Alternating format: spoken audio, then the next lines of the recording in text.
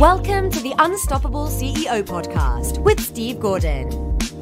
Welcome to the Unstoppable CEO podcast. I'm your host, Steve Gordon, and uh, today we've got a great interview for you.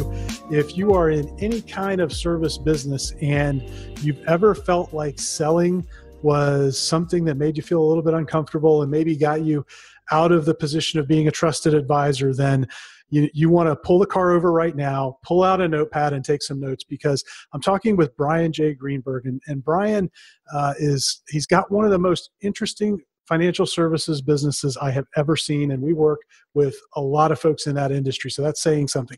He's generated over $50 million in revenue from his businesses, collected over 10,000 reviews. Stop for a second and think about that 10,000 reviews from customers. And uh, he's been named one of the most creative people in financial services and uh, he's been called the salesman who doesn't sell and he has a book by that title and we're going to dive into all of that today so brian welcome to the unstoppable ceo Oh, thank you so much for having me, Steve. I'm excited about this. Um, I love talking about sales in the context of professional services because I really think it, it's a little bit of a different animal. And um, and so I'm excited to dive into that. But before we do, can you give everybody a little bit of background so they understand how you got to this stage of your career? Of course. Uh, you know, I, I started promoting businesses on the internet back in 2004. Uh, what really interested me was the marketing. Uh, I loved ranking organically in Google and Yahoo and running the business that way. Now, the other thing I really loved about internet based businesses is that I could run them passively. So I spent a very long time learning how to sell somebody strictly without talking to them. Uh, that's, you know, I, some people in the insurance business call me the salesman who doesn't sell. I love that title uh, you know, I, I pride myself on being able to sell somebody and build up their trust and close a sale, you know, while I sleep. Uh, in the past, I've, I've owned an internet uh, organic marketing company. I sold it back in 2012. Uh, you know, I, I, decided to focus on my own businesses. And I've just been having a lot of fun. And, and you're right, I, my main business right now is a life insurance website that I sell uh, insurance direct to consumers in all 50 states. So you, have been in a lot of businesses. Why why life insurance? Why did you you settle there? The insurance market online is one of the most competitive niches that you can get into. Besides that, it's one of the most profitable. I think insurance is it's definitely one of the top four most difficult niches. Uh, it also has the highest pay per click values. So all the insurance keywords, if you were going to buy them in Google AdWords, it'll cost you $30 up to $50 a click. So what I found is if I'm able to rank in Google for pretty much anything, and if I wanted to play the long game and, and compete against the big guys in Google, I might as well pick the most profitable uh, niche. So, you know, I'm able to bring in close to $600,000 worth of organic traffic value every month. And for the amount of work that I'm able to do and that put into it and the amount of employees I have, it's it's a profitable business. So that's why I chose it. And I like it. I, I feel like we're serving people. That's awesome. Yeah. I've often said that, that life insurance is the most difficult thing to sell on the planet mm. because you're selling something that and, and collecting the money today the benefit and and i know the clients we have in this business correct me on this all the time you can use some of the benefit while you're still alive but for the most part your prospects believe they're going to give you money and there's no no hope of them getting any benefit until they're gone and so that's a pretty hard bargain um, you, you've entered a difficult industry and I, I can't imagine that given the competition that you're up against that that building this machine online to where you're ranking for these high value keywords that, that couldn't have been a, an easy thing to do. Um, i'm sure there were and i'm sure it didn't happen overnight i'm sure there were times when you thought god are we ever going to get there? How, how, did you deal with some of the bumps along the way and the challenges as you built the business good question you know i, I think as entrepreneurs we get a little bit uh, too focused on the profits, uh, you know, on a quarterly basis, on a daily basis. The one thing I always like to go back to is that the number one responsibility I have as the CEO of the company is to serve the customer. So any decision I make or you know i always want to go back to does it serve the customer if you focus on that it's it's the best way. You know i love the quote that it says the best way to become a billionaire is to serve a billion people. So you know as a ceo and i run a smaller company i don't have to worry too much about shareholders or quarterly profits. I play the long game. And the long game i know that the good guys usually win. I, I hope that they always win and that there's a, a piece of karma in business so if I stay honest, and ethical, and, and I run business the right way, I'll get satisfied customers. And that actually kind of spins that whole marketing wheel, and I have customers coming to me, which is important. Now, Steve, just real quick, you know, life insurance.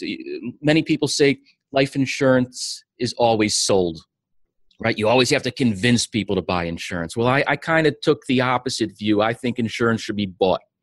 So I like to get people when they're when they actually want to buy insurance and I get them to choose me as their agent. So most of the time, I'm able to sell them and uh, we're able to start a good relationship and I can avoid all the negativity that's involved with other people that are pushy that sell life insurance. Yeah, I think that's that's really key, and it, it it's prevalent in the insurance industry just because of the way that new agents are brought into the business and taught. You know, build your list of a hundred people that you know, and then go chase them. And uh, and and you've clearly taken a different approach. Um, and and I'll I'll tell you the the the thing that you just said that I think is most important and is I think is missing in a lot of the you know the the business media today is this idea of the long view um, even in small business. It used to be big big businesses. You know, you're on Wall Street and you've got to deal with the quarterly earnings report, and that kind of drives everything. And I feel like with the all the chatter of social media and and all the craziness of you know the the marketing gurus and all that that are out there that tell you you know if you put a dollar into facebook tomorrow you're going to be a million millionaire by friday you know it, it it gives us this perception of instant re, instant reward, instant result. And I don't think that that's really the way a strong, solid business is ever built. I, how, how hard has it been to sort of push back against the world and stay focused on the long view? It is difficult. It's it, it is a challenge. You know, I think an important word that uh, always kind of rings around with me is relentless. Uh, from a, from a young age, I've always been relentless. I know Steve, um, Jeff uh, Bezos, the owner of Amazon, he prides himself very strongly on being relentless. And if you actually go to relentless.com, it redirects to Amazon. He bought that domain a, a long time ago. As far as playing the long game, yeah, I mean, that's what you need. You need to uh, have uh, faith that if you do business the right way, you're going to be the last guy standing. So, you know, over look, I've been online and I've been in business for a long time, and I've definitely seen the guys that run businesses unethically and you know just focused on you know getting that money and uh, they don't survive. So you know part of it is if you just keep doing business the right way you're going to be the last guy standing. And, and, and my belief is that if you don't quit you can't lose.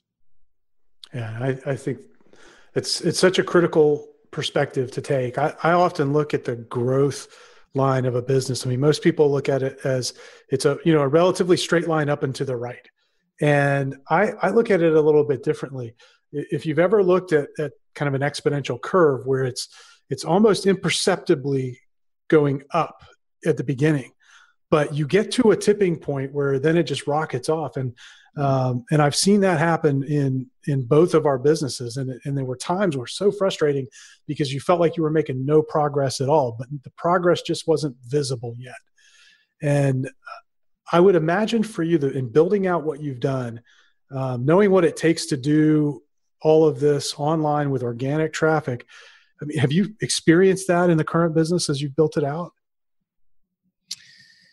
You mean as as far as uh, being able to stay focused on the long term, Steve? Yeah, and, and and have you had times where the growth was maybe oh. almost imperceptible, but in, you know you're you've got this choice: do I stay the course or do I try something else? You know, look in organic SEO, you have ups and downs, and it's ne- not necessarily your doing. you know google and the search engines come out with new algorithm changes all the time so you know i back in 2012 just to go back a little bit on the history of, of organic search uh, you know people that were kind of scamming the system to rank organically they got all wiped out. And Wil Reynolds the owner of Seer Interactive he did this great speech and it, really hit me, hit home with me. He says look from now on you have to do real company stuff. He used uh, profanities, real company for the SE, real company stuff. So do stuff that real companies do, and only do it. So you know, don't you know pay somebody you know overseas to build uh, blog carnivals or private blog networks. So I guess you know, boy, you know, some of it has to do with faith that you know if I'm doing it the right way and I'm doing it per the you know the guidelines and I'm doing everything that real companies do, that every time Google comes out with an algorithm update, my sites do better. Hey, knock on wood, but that's that's that's how it's gone. Uh, it does take patience, right? I think that it's important um, to grow as your business grows. To keep everything, you know, I, I I've I don't have any investors. You know, some of my competitors have fifty million dollars of inve- investment, and almost they like they just burn through money, and that's a lot of stress, right? Uh, I've run my business uh, and invested off profits. So I've grown slowly. All right, that that's the kind of uh, trade off. So it's just about faith, and if that if you're doing everything right, that you're going to get paid in the end. It's it's very much business karma. Yeah, I, I think you're you've got I think a really great philosophy, and what I'd like to do is we're going to come back in just a second. We're going to dive into Brian's strategies uh, all around, you know, selling without having to sell. And so, Brian, I'm looking forward to, to getting into that and going deep. We're going to be right back with more from Brian Greenberg. Hi, this is Steve. I hope you're enjoying this interview. We've got more to come in a minute, but what I'd love for you to do right now is rate this podcast. Leave us a review, rate us on iTunes. It'll really help others discover the podcast and help us help other CEOs, other business leaders become unstoppable. So if you go to unstoppableceo.net forward slash iTunes, you can find instructions there and links that will take you right to where you need to go to review the podcast. Thanks so much. Now back to the interview. Welcome back. This is Steve Gordon, and I'm here with Brian Greenberg. And Brian, um, you've got a new book, and you you've the book is is by the title, I guess, that you've been called in the industry, the salesman who doesn't sell. Um, I, I'd love to hear your approach to sales and and how you uh, you think it differs from what's kind of common out there in, in uh, industry today.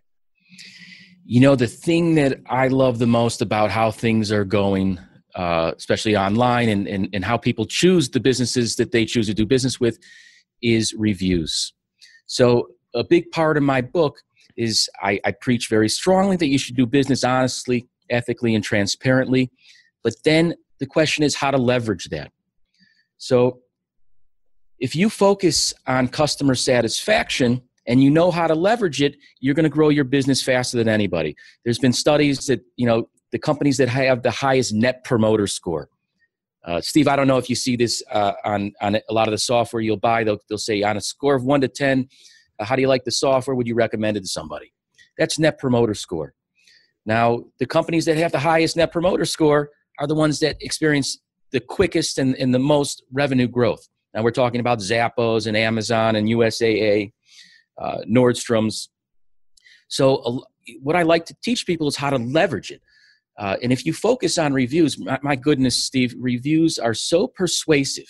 Reviews are like the new references. People, you know, if you're going to choose a service provider, you say, "Well, give me give me three references," right? You don't have to do that anymore. You can show them a hundred references, and they're sold right then and there. People go on to Yelp and they see somebody has 15 five star reviews. It's a done deal. So you know, part of what I like to teach people is to focus on reviews. If you focus on reviews, you're going to be focusing on doing business the right way and, and focusing on the customer. And what I've experienced is exponential growth myself. Uh, the more reviews I get, the more social proof I can show any potential customer. Yeah, and you've got an insane number of reviews on your website. Um, I, I, I, don't think I've ever seen so many um, on a site, particularly on a, a, site that's selling a, a high end service. so, how would if if a business owner is listening to this, how would they begin to focus on reviews? What should they start doing to collect the reviews? What what are some of the things they can begin doing right away? You know, the first thing is a mindset. I think that so many CEOs uh, don't know the value of the reviews, and that's why they don't focus on it. Now, I, would like to go ahead and put a, a value on reviews.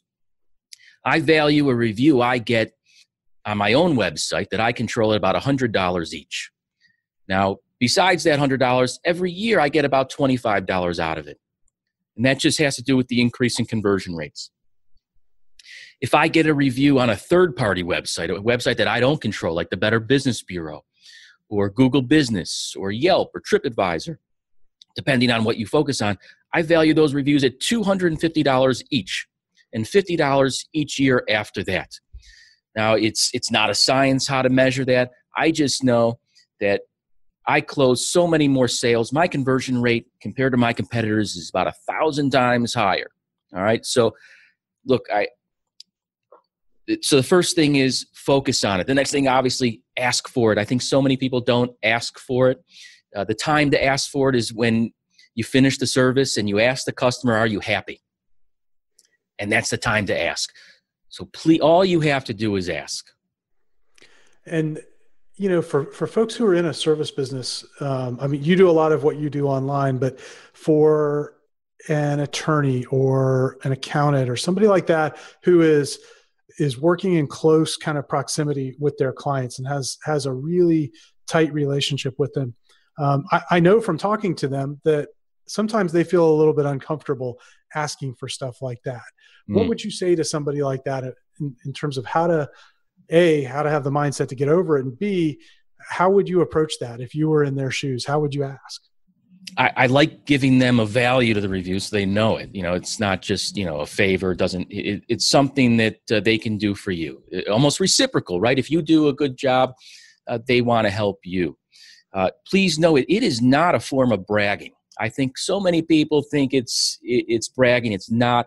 I almost think that it's an ethical responsibility for the people that can get good reviews to actually get them and display them. That way, it proliferates that the best businesses will get the business, right? And and that's where I want to see everything go. As I, I want to see more and more businesses focusing on the customers, being ethical, and the way to display that is with the reviews. Now, let's say you have an attorney or an accountant. I, I know they're not comfortable asking for reviews.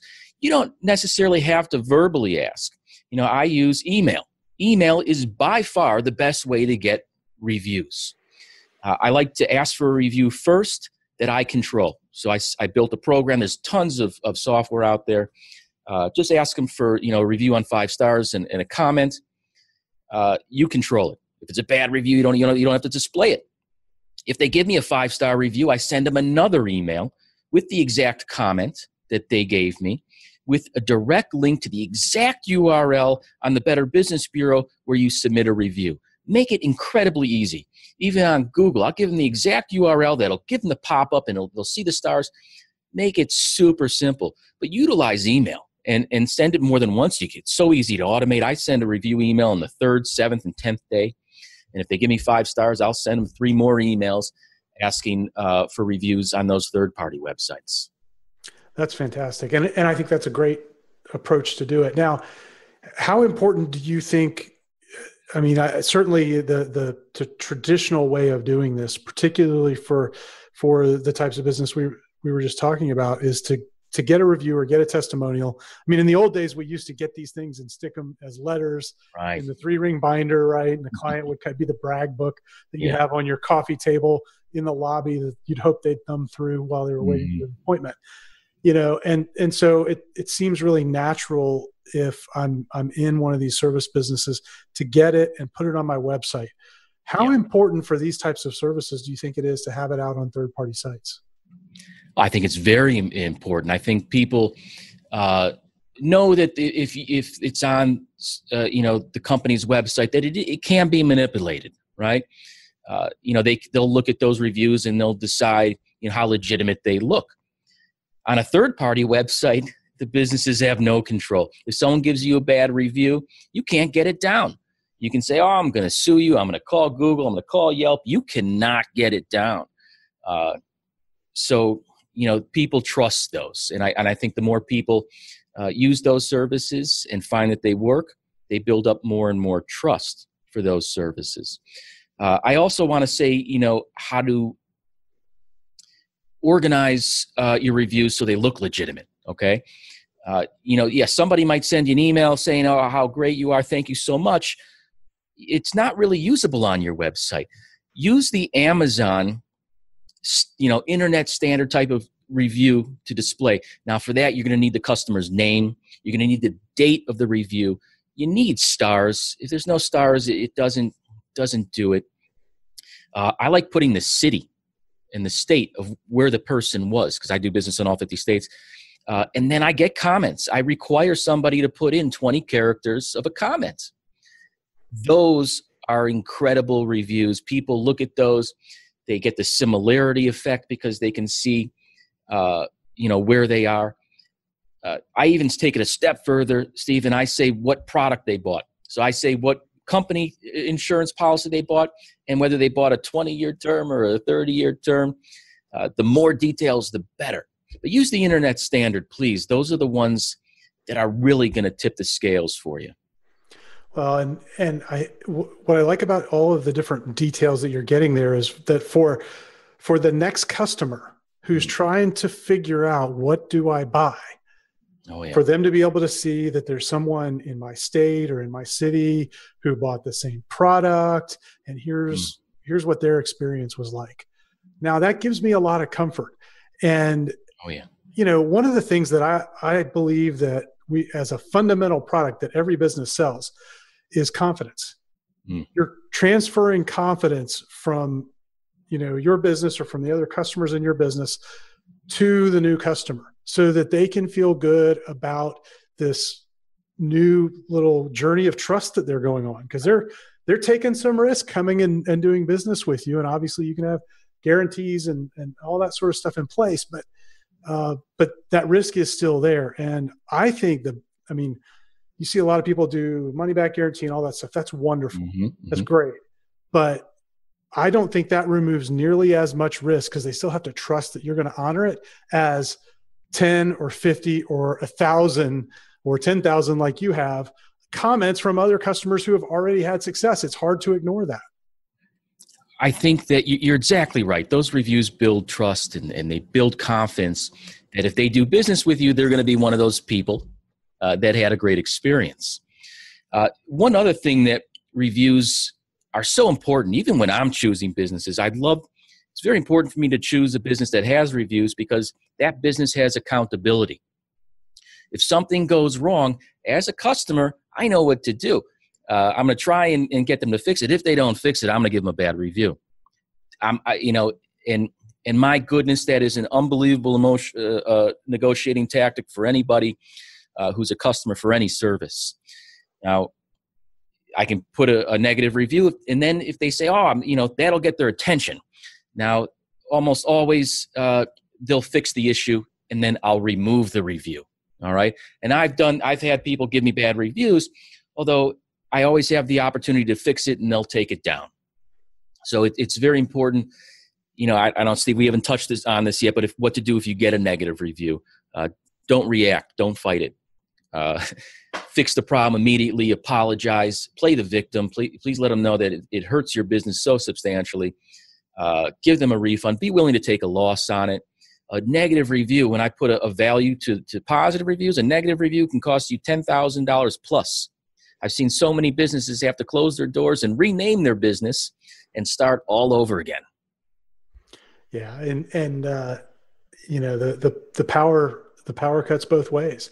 Mm. So you know you we've talked about reviews and you know the the approach that you've got really puts your customers in the salesman's position for you um, by by letting them kind of get out there and say, you know, you're Mr. Future Customer, you're in this position I was in. Here's the problem I faced. Here's what I did, and I got a really great result. So they're doing all the selling for you, which is really really powerful. beyond that, how have you over the course of building this business, you know, earned that that moniker of the salesman that, who doesn't sell? What are the other things that you're doing? You know, I think you touched on them. So I, I use a, something that I, I, think that everyone should use. It's uh, user experience testing. So I, I like to use usertesting.com. And for $50, you could have someone go through your website. Uh, they usually almost about an hour. You can see their screen and they're talking uh, while they're going through your website. And what you want them to do is act like a normal customer. From that, I can find out all the questions that I'm not answering from the question from, from the customer. If the customer has to call you to ask a question, I've basically uh, caused a big problem for myself. So, you know, some companies don't list prices. That that's a barrier. Like you said, a money back guarantee, a free trial, uh, all these things uh, to make things easier, right? Uh, what is the return policy? What is the shipping? Tell them right up front. Don't don't make a mask because any questions that they have that aren't a- answered, they're going to leave your site. They're going to go to your competitor, and if they're doing it better, you're going to lose them.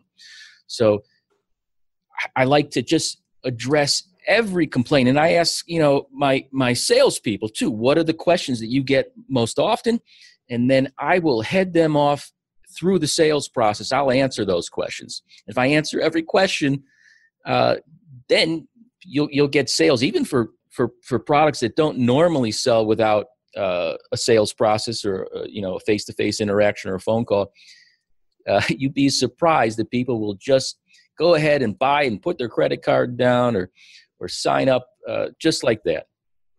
You know the for, for most of us the, this is all about looking at something that we want or that we need and uh, and really you know being enabled to make the purchase um, and i think for for a lot of businesses we haven't really thought through what it takes to to allow somebody to enable that mm. future client to make that purchase. They've got all these questions. And I know sometimes I talk to business owners and and it's like they get a little bit offended when when they they're asked the questions because you know they're uh, maybe not not prepared to answer them or they don't understand why the, the customer has that question. Um, when you can address all of those up front ahead of mm. time you eliminate the need to sell in in the the way that most people go oh i don't want to be sold. You know you're now enabling that person to actually make the buy you know they can come in and they can purchase and um and so but doing that requires it doesn't happen overnight it's not like you sit sit down one day um, i mean maybe you've got a better system for doing this than i do but i've never been able to sit down one day and just think about all of the questions and they come up they just they come up over time they change over time um, and it sounds like you've got some feedback loops there. Mm. When when you get that, where does that go into the sales process? Does that plug into content on your website? Do you plug it into educational webinars or videos? How do you find the right place to put it in the sales process? For for my particular businesses, it's you know kind of through the sales process on my website. So I'm kind of directing people uh, the process that I want them to go through right so I'll, I'll, just i'll have them run a quote i'll have them i'll give them all the reviews i'll let them choose i'll let them do all the research uh, webinars of course are, are a wonderful way uh, to do it. You know the whole goal is is to have them you know being sold and they want to do business with you without you having to sell them now i i agree. I you know if people keep asking me the same questions especially like why should i do business with you? or why should i trust you? Yeah those can get you know under the skin a little bit. That's why i love answering them on my website. Or, or like you said in a webinar or, or, or however your sales process goes sell them there. You know take it off your plate you know that's my motivation really is to is the more questions i answer the easier i make it on the easier i make it on myself and my sales team and the less resources and time uh, i need to put into it you know i, I ran a, i still run a, a drop ship business and and it was tracking information. Oh, what's my tracking? When it's going to arrive? Well, when when I automated it and I send them the tracking information automatically, it cut down like 30% of my customer service time, right? So, yeah, when they come up, please, yeah, do a knowledge base. Make sure you answer it because then you don't have to. Answer it once on your website or, or in your sales process, and then don't do it again. Yeah, and I, I, going back to this idea of of transferring confidence, if they see that you have thought through all of these things and you've been proactive about it and you've put the information out there, it's it elevates trust so much. I think, you know, they feel they can now feel confident. Okay, they, these people have a process. They've thought through everything. They knew what all of my questions were. Mm-hmm. Um, you know, I don't know how much you're on the phone in in sales. Uh, it sounds like you've got a sales team who is probably on the phone with prospects. Mm-hmm. Um, do they ever have the experience where you know a customer is kind of quoting your yeah. stuff, right? And and yeah. well, oh, and I read this and I read that, and and so I think we're ready to go. I my the salespeople love it, right? Because people will read the testimonials on all these places more than you could even think, right? So a lot of times they'll call and they'll be speaking to my salesperson, Jen, right? And they'll say, "Oh, Jen, I'm so happy I got you. I'm so happy uh, you're the salesperson because I read all these beautiful reviews about you. That's why I chose you guys." Uh, just uh, they were just so impressed, and this happens every day and that's wonderful, right? Now, you know, another thing I wanted to bring up these review sites, if you offer reviews, not only in your service, but all the other products involved and all the different options, people want an opinion, and that's how they do their research, right? Uh, you know, Yelp and, and Amazon and uh, TripAdvisor, they, they, they have just an unbelievable amount of traffic as search engines. People go there to do their research. So, you know, especially if you're in a business that uh, you know you have the ability to do that. I, I, mean people come to my website to do the research right? To find out what are the best companies to find out what most people are buying. So it is just an, such a strong sales tactic that people really should be using uh, and if they're not using it to its full capacity just keep doing it. And, you know they've done studies where if people get you know 10 reviews on yelp and uh, you know it can increase their business by 20% it's just it's so powerful. Well and and for a a business that is local in scale mm. you know, or even regional i mean most of the time i you know i look for reviews all the time and it's often very difficult to find a business that has more than a couple of reviews. A lot of times what you'll see in a local area is everybody's got like one or two you know it was like their mother and their aunt you know, Aunt Betsy came to the restaurant and left a review. Those are good uh, too. Yeah, you know, those are all great. But then there's the one that's got two dozen. Yeah. And I I know that they get the lion's share of the business, but mm-hmm. the good news there is they've probably only got two dozen.